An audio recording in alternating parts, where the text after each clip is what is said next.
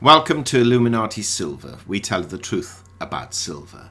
Today is Sunday, the 28th of May 2023, and last week we saw gold and silver prices dip, the value of the dollar rise, and some consternation about whether the Federal Reserve will raise rates or not on the 14th of June. Now, this video is basically a repeat of our weekly update produced yesterday. So if you listen to that, no need to listen further, unless of course you want to listen to it twice. Having said that, if you haven't listened to it, then we do suggest you listen further. Let's take a look what happened. Let's also look at what we forecast will happen this coming week.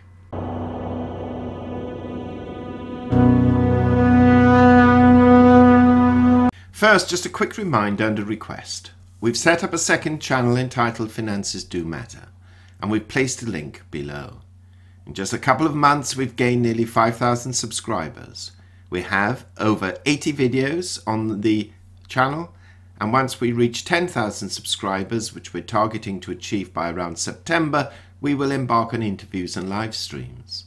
So if you're one of those listening to this and who is not subscribed to Finances Do Matter, we'd be most appreciative if you would either go to the description section below or to our comment section where you will find a link to subscribe.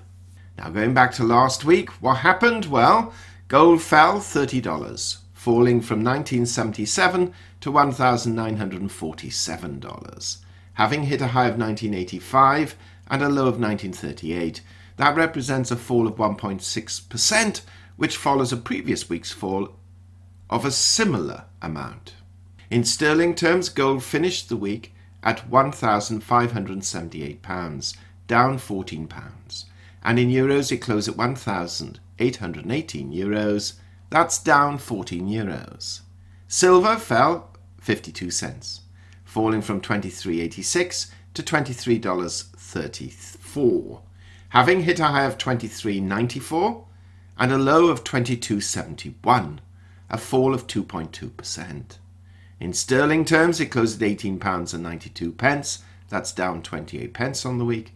And in euros, it closed at 21.81 euros. That's down 0.32 euros, or a third of a euro. The gold to silver ratio, of course, rose from 82.9 to 1 to 83.4 to 1.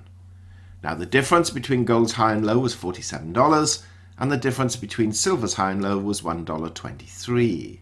Now, this is what we said last week concerning our forecast for the, for the coming week. We anticipate gold trading between 1925 and 2025 and silver between 23 and 25 dollars. Both of which did for most of the week, uh, but silver did actually move into our outlier range just above $22.50 on Thursday for just a couple of hours. But broadly, both gold and silver traded within those normal trading ranges. Now, looking at other financials, Bitcoin stands at $26,701. That's down $200. Equities were mixed, even though they all gained ground on Friday. The Dow Jones closed at 33,093. That's down 333 points. The S&P 500 closed at 4,205. That's up 14 and the Nasdaq Composite closed at 12,975 and that's up 318 points. We've seen the Nasdaq gain some considerable ground in recent weeks. Oils were marginally higher, unfortunately, for the second week. Brent crude closed at 76.95, that's up $1.37, and WTI crude closed at 72.67, that's up $1.12. What's perhaps most pertinent, poignant, and important for precious metal prices, the dollar index was up 1.01 points on the week at 104.20. That's now a rise of 3 points over the past 3 weeks. Now looking at economic data announced last week, we saw flash manufacturing and services PMIs for May actually beating forecasts. Quarter one GDP was also revised at 1.3% compared with 1.1% previously forecast.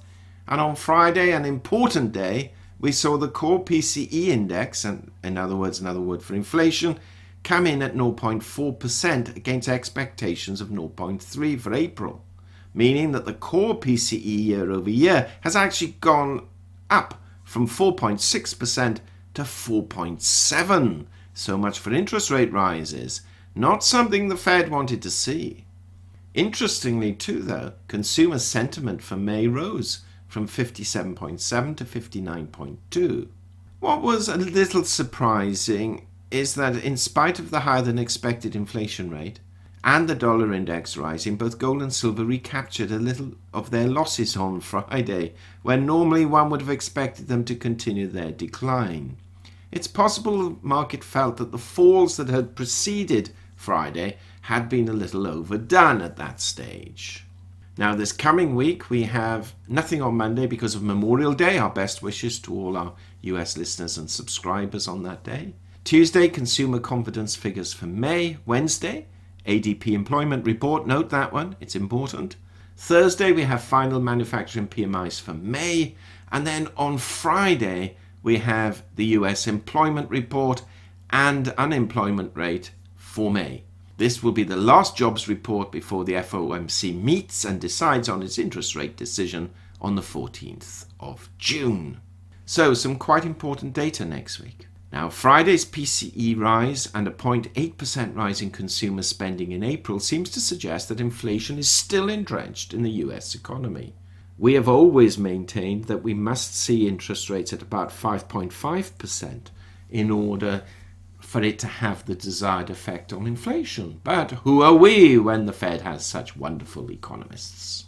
Now, immediately after the PC report was released, the CME's FedWatch tool quickly rose to a 70.5% chance that the Fed will raise rates by a quarter percent at the June FOMC meeting.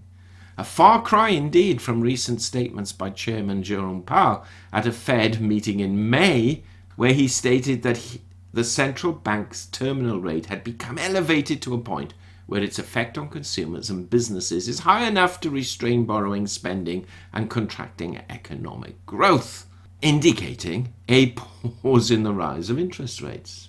We shall see. Now we're continuing to see a downward pressure on gold, and technical analysts who felt that perhaps the latest pullback was close to the bottom are now suggesting that we could even see gold dip further to around $1,915. Much depends on what the Fed does on the 14th of June. Sorry for keep repeating that. If interest rates are paused, we could very well see another hike up in gold. If, of course, they're not paused, then our view is that $1,900 probably won't hold and 1875 could provide a good buying opportunity. To the upside, the general consensus is that 1965 represents the next resistance level, with, of course, 2000 being the ultimate, at least for the next month or so. Now, silver took quite a hit last week, but did manage to close reasonably above $23 as buyers came in when it fell below $22.75. There is quite a positive demand for silver. However, we are entering an economic recession or slowdown that will not augur well for this precious metal.